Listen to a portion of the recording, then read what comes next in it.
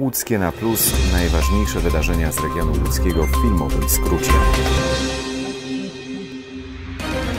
Urzędzie Marszałkowskim podpisane zostały pierwsze umowy dotyczące wsparcia dla domów pomocy społecznej w ramach programu Łódzkie Pomaga. Projekt jest współfinansowany ze środków unijnych. Jego głównym celem jest łagodzenie skutków pandemii koronawirusa oraz wsparcie podopiecznych i pracowników DPS-ów, którzy są w grupie dużego ryzyka. W skali naszego regionu e, te możliwości będą dotyczyły 60 domów pomocy społecznej. To wielkie dzieło, które będziemy mogli wspólnie realizować. 24 miliony zaangażowane dzięki przychylności e, ministerstwa, dzięki inicjatywie samorządu województwa i dzięki możliwościom funduszy europejskich. Cała Polska czytała balladynę. W akcję włączył się również marszałek województwa łódzkiego Grzegorz Schreiber wspólnie z wojewodą łódzkim Tobiaszem Bocheńskim. Radzę ci, uciekajmy, mój skierko kochany. Więc uciekaj. Ja się bawię.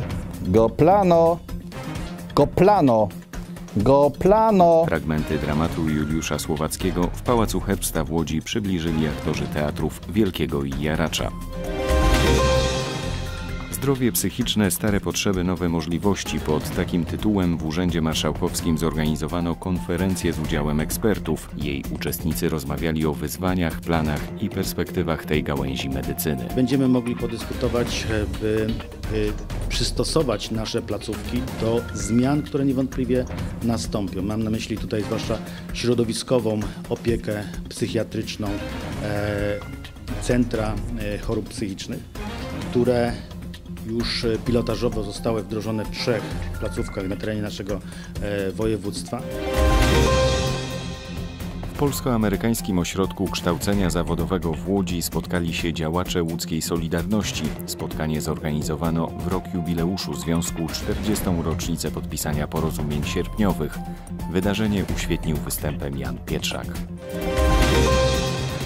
W rocznicę bitwy obronnej o Borowską Górę hołd poległym tu w 1939 roku żołnierzom oddali okoliczni mieszkańcy, żołnierze Wojska Polskiego, politycy i samorządowcy. Góry Borowskie to niewielkie wzniesienia w pobliżu Woli Krzysztoporskiej.